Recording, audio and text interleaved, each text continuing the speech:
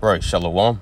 First and foremost, want to give all praise, honor, glory unto Yahawah, Bahashim, Yahawashi, Bahashim, Kakwadash. That's all praise to the Heavenly Father. His true name in the Hebrew is Yahawah. In his son's name, who the world It'll call Jesus Christ, real name in the Hebrew is Yahawashi. Also give a praise, honor, glory to the Habakkuk the Holy Spirit, which is the force and entity that makes his edification possible. I want to say shalom to all you sincere hearted Aki and Wa'akwath. That's you brothers and sisters that make your bodies a living sacrifice on a daily basis in this wicked and adulterous generation. I also want to give a double honors to the apostles and elders of Great Millstone who taught us his truth and who rule well. And today, you know, I was going to briefly touch into uh, a couple of articles and a video uh, I wanted to show, you know, and um, as you can see, this uh, this first article here, well, this is uh, off of um, 5 NBC DFW, you know, local news out here in Dallas, you know, Dallas Fort Worth area. Um, you know, the reason why I'm doing this because man, hey, we we're in the as we were speaking about at camp yesterday, you know, we're in the time of rejoicing. You know, although, you know, overall, this is a solemn assembly with us being this truth. But we're also in the time of rejoicing, man, because we're living to see the fall of our enemy. As a matter of fact, let's get that real quick in the book of Sirach 25 and verse 7. Right? It says, There be nine things which I have judged in my heart to be happy, and the tenth I will utter with my tongue. A man that have joy of his children, and he that liveth to see the fall of his enemy. And we are truly living to see the fall of our enemy. We're living through having the breath, you know, of wisdom, you know, dwelling inside of us. And now we understand the desolation of the wicked. Now we understand, you know, the fate for the so-called white man, which is Esau, Edom, as well as the fate, you know, for the wicked of our people. You know, two-thirds of our people, you so-called black, Hispanic, and Native Americans, you know, the Israelites, you're going you're going to get put to death here, man. You know, as long as you cleave unto America, as we're going to show in these articles, man. You know, uh, particularly this video on YouTube, man. You know, Native Americans are, are, are no matter what they, what has happened, they still cleave unto this place, man. You know, not just them, you know, but as well as you know, the Southern Kingdom. You know, uh, the Negroes, the Haitians, the West Indies, the Caribbean, uh, uh right, the Jamaicans, right. All of our people, the Israelites, they've always trusted in Egypt, but nonetheless this is um, off of the local news out here. It says Dallas Fort Worth fire departments fight multiple fires started by 4th of July fireworks. Now I'm gonna play a little bit of this video.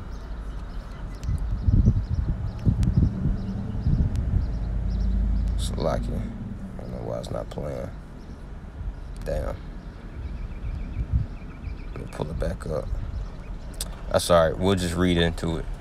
It says, um, the cities of Dallas and Fort Worth fought several fires on Monday night after 4th of July fires. Fireworks set dry grass ablaze. Yeah, it's been hot as hell out here, you know, but they thought it would be a good idea, you know, to still pop fireworks. And it says in Dallas, fire officials responded to a blaze under Sylvan Bridge at approximately 10:30 p.m. on Monday. Blase, right? Uh, there is something on here that I saw. They had like over um, yeah, here we go down here. It says in total, Fort Worth Fire Department officials were dispatched to 77 grass and brush fires in the city, with a total of 145 fire calls so far Monday evening. See, so over 145, you know, uh, um, responses to fires, man, and that was just in one city in Fort Worth. You know, let alone Dallas, Texas. You know, but what's happening? Yahweh Bashamal Shah is breaking the mirth of this place, man. He's breaking the mirth of Babylon the Great. Let's get this in the book of uh, Baruch. Uh, yeah, Baruch chapter 4. It's Baruch chapter 4. We can start right here, verse um, 20. Start at verse 30. It says, Take a good heart, meaning a good mind, O Jerusalem for he that gave thee that name will comfort thee. Yeah, this is the time we should take a, a good heart, a good mind, man. Seeing that, you know, the promises of Yahweh Bashamal Shah, you know, pertaining to the destruction of the wicked and the uprising of uh, um, the kingdom of Israel is not at the doors, man. Right? It says, verse 30, Take a good heart, O Jerusalem, for he that gave thee that name will comfort thee. Miserable are they that afflicted thee and rejoice at thy fall. And who afflicted us, man? All these nations did. See, the daughter of Babylon has, uh, as Sirach, Salakia, Isaiah 47 says, has uh, very heavily laid the yoke upon the old and showed no pity unto the young. Right? It says, For he that gave thee that name will comfort thee. Miserable are they that afflicted thee and rejoice at thy fall. Says, Miserable are the cities which thy children served. Miserable is she that received thy son. See, he says, Miserable are the cities which thy children served. Right? And you had, you know, um, our ancestors right out here in Dallas, Fort Worth, serving this place, man. And all through, man, you had um, in Illinois, you had what six people to get shot, like over 35 uh, wounded. All right, why is that, man? It's the Lord uh, breaking up the mirth out of America, man. See, because scriptures tells you that that a harlot's last end is bitter. When you read, I want to say, what is that Proverbs, the seventh chapter, speaks about a harlot's last end is bitter, man. And that's going to be the uh, last end of uh, the mystery, mystery Babylon the Great, the great harlot, man, the great whore. It's going to be a very bitter end. It's going to end in, in race wars, you know, famines, all the different types of pestilences, you know, the inflation, uh, I mean, uh, the economy collapse. Says verse 34.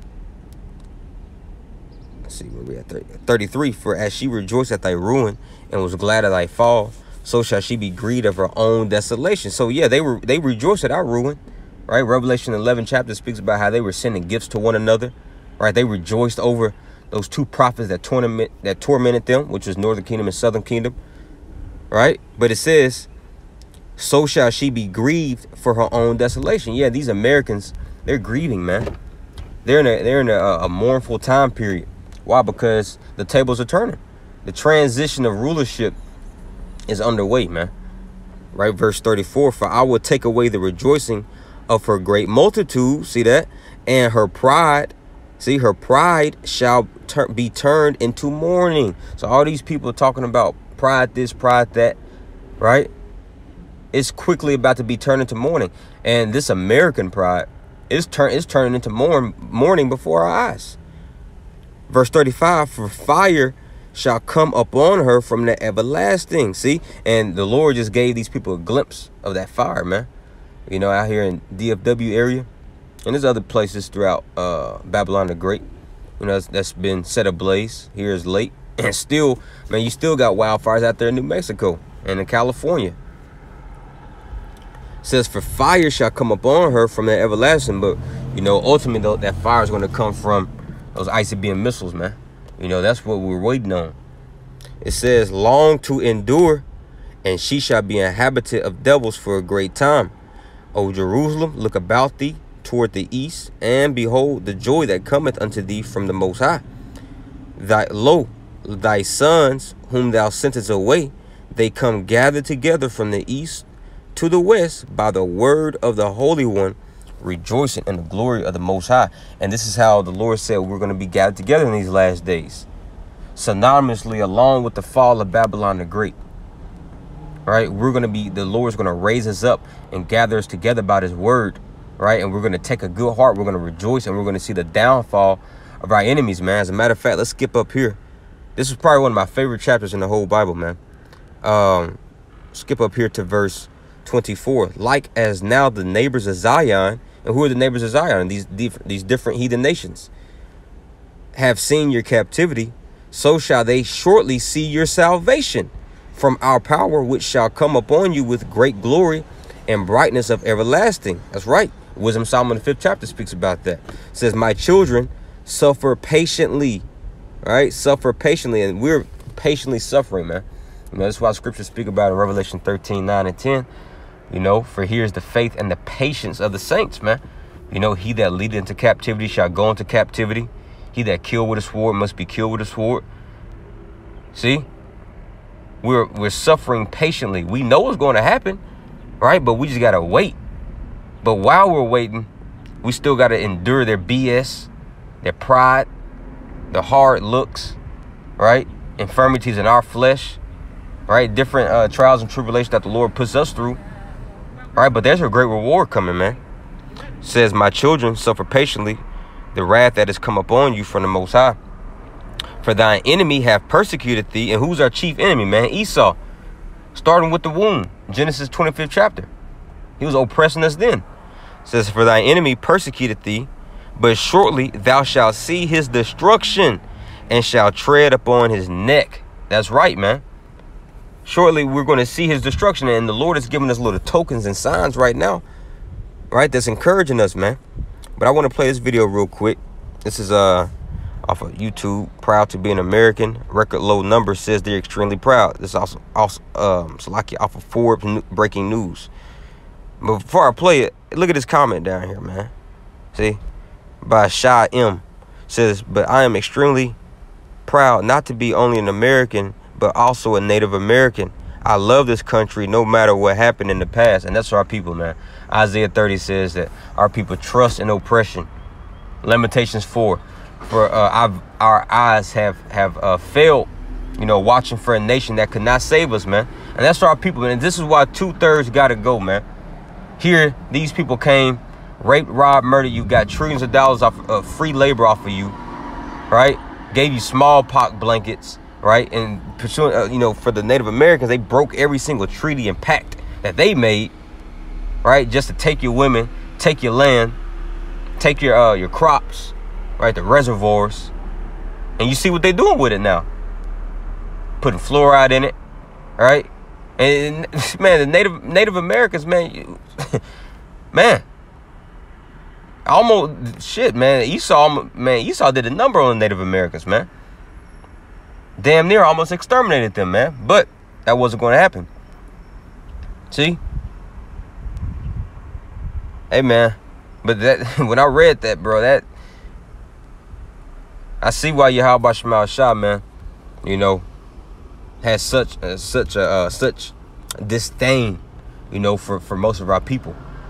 They refuse, you know, to to uh, to find covering and protection in Him, but they find covering and protection to the very one that oppressed them, man. Uh, but let's play this video real quick.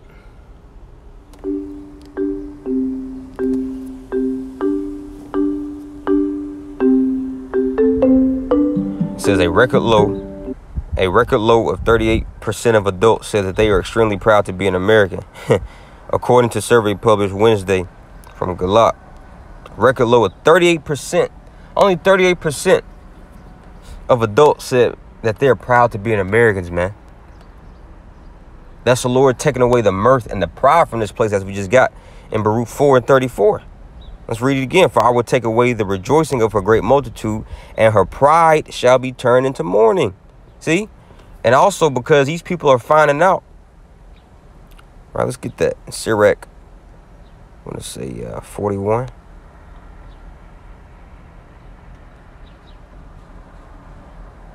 Give me one second.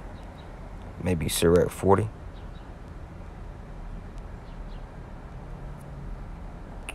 Uh, these people are finding out the atrocities of their foreparents, man. Now, a lot of them don't care. Some of them do. Right? Some of them they they they watch us. Right? And they hear the the points that we're bringing out and the precepts backing it up. Right? Let me get this real quick. Complain of um, ungodly. Yeah, Sirach 41 and 17. Start at verse 5. The children of sinners. And who's the children of sinners, man? These Edomites especially. And of course our people, right? Most of our people. But stand up on this this devil, man. All right, we can't let this nigga off the loose because the Lord's not. All right, it says the children of sinners are abominable children. Right, that's why Isaiah 14, 26 says what? Prepare slaughter for his children for the iniquity of their fathers. It says, and they that are conversant in the dwelling of the ungodly the inheritance of sinners' children shall perish. See, the inheritance of of sinners' children shall perish. So these people that inherited what their uh, great great because as a matter of fact, let's let's look at this. Um, look at this down here. Going back to this video, and uh, where is it at? I had read it earlier. Yep, here we go. What this this nigga right here, David Grider said. Today marks the anniversary of the day when our great great great grandparents got together. And if you know anything about scriptures, man, about uh, reincarnation, you are your great great great great great grandfathers, man. So The Lord brought these gener he brought those same people back today, man, to go ahead and get their punishment. Says today marks the anniversary of the day when our great great great grandparents got together and told the King of England to go pound sand. It took a special kind of bravery to do such a thing. I believe which I believe lives on in all of us. Yeah, because you are those niggas, man. And that wasn't bravery. That was uh, cowardness, man. You gonna take down people who don't even have guns you know, and then say that this is God's country, right? It's all right, man. Hey, we, we know the truth now. We're living to see the fall of our enemy, all right? Because a lot of our people, man, that, you know, as part of Black Panthers and all this shit, you know, they get frustrated, you know, but they're not in the congregation of the living. They're dead, but they don't understand what's going on here, man. We do. Sirach 41 and uh, 6, the inheritance of sinners' children shall perish. So America's going to perish because this is what they inherited, man. All right? Says, and their posterity shall have a perpetual reproach, man. So you're going to be constantly looked at as the offscouring, you know, of the world, as the vow, the base man, as the Lord created you to be, as a scum of the earth. Says verse 7, the children will complain of an ungodly father. See? because they shall be reproached for his sake. See? So they're complaining because of the ungodly father, man. A lot of these people are. That's why they don't have pride in this place no more. And they also see that their leaders don't give a damn about them, man. You know, but I mean, that's pretty much it on that. I mean, y'all could look at the rest of that video. It's pretty much um, you know, like subtitles, just commentating on it. But I wanted to get this one as well. It says state education board members push back on proposal to use involuntary relocation to describe slavery. So you see, that was something that was proposed right out here in Texas, man. Instead of calling it like it is in schools, you know, telling these young children, you know, uh, this is what happened to the Negroes, right, that they were taken to slavery. They want to recoin it and twist it with calling it involuntary, like involuntary relocation. See? Let's get some scriptures, man. But that's this devil for you. This is why, I mean, this is what Esau was made for, man. This is why we say that he's the devil that the Bible speaks of. Devil goes back to into diablos in the Greek, which means deceiver. Deceiver. This man, the Lord is giving, he, I was dwelling upon this this morning. The Lord gave this man a tongue, man. Esau knows how to talk. He knows how to twist words. He knows how to uh, write these uh, unrighteous decrees, these unrighteous laws. And it's just it's just it's just smooth like butter, man. Just like Psalms the 50th chapter says. Right? How the words of his mouth were smoother than oil. But war was in his heart. Having those drawn swords, man. Psalm 73 and verse um start at verse 6. Let's start at verse 5. It says, They are not in trouble. And this is a, a psalm of Asaph, man. He was looking upon the wicked. And he was just trying to rationalize like how in the hell are they succeeding? Are they still prospering in life? How is this how is this happening? You know? And he was getting vexed. You know, but then later on in the chapter he says, Then I understood their end when I came into the sanctuary of the most high. Until we came into the congregation of living. That's when we're going to understand this, this man's end. And this is why we constantly speak about Esau and the, and the demise and the destruction of America. Because for so long, we didn't know anything about this. You know, we just thought this place was going to go on forever in wickedness. We were going to be slaves, just work these nine to five jobs, you know, get a 401k and just die and, and, and pass that on down, pass that tradition down to our seed forever. See? No. Until we came into this, let's get that real quick first.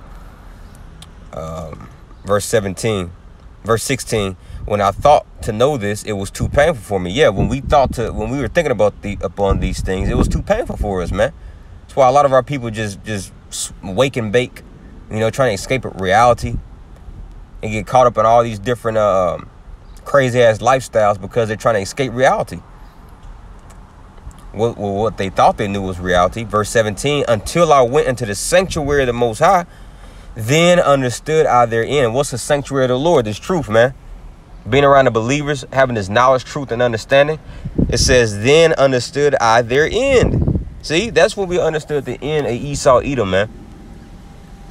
As the next verse says, surely thou didst set them in slippery places, thou cast them down to destruction. So the Lord has put America, he's put these Edomites into a slippery place, man, on a slippery slope to where they can never rise again after they fall. By him putting them at the uh, at the very top, that was that was him setting them up. Cause there ain't nowhere else you can go after you are already at the top. Your ass trapped. What you gonna do? Next step is for you to just jump off or somebody kick you off. Well, that's Yahweh Shemal Shah. He about to uh, um, that great stone that's spoken about in the second chapter is about to come and smite this place, man. So Psalm 73, verse 5, they are not in trouble as other men, neither are they plagued like other men. Yeah, these Edomites, they're not in trouble like Jake, man. Why? Because the curse is not on them. But the curses are coming upon them, pursuant to Deuteronomy 30 and 7. All the curse that was upon us is going to be upon all of our enemies. So captivity coming for y'all, man. That's one of the main curses. Famine coming for y'all. Right?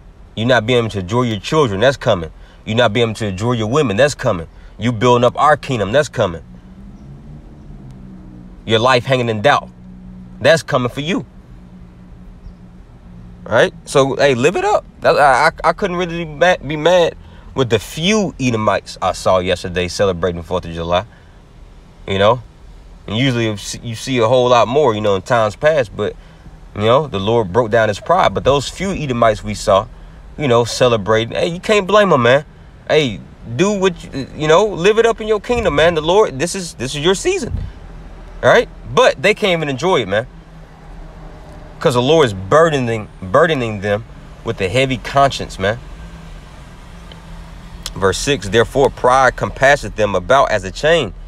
And that's how you know it's speaking about the Edomites, man. This pride compasses this man, man like a chain. It's all around him. It's the border. It's, it's encircling him. It says violence covereth them as a garment. That's their garment. That's their covering is violence. And that's the America's covering. That's how America obtained everything is through violence. Bloodshed, riches, injuries got him by deceit. Verse 7, their eyes stand out with fatness. Why? Because they got the fatness of the earth.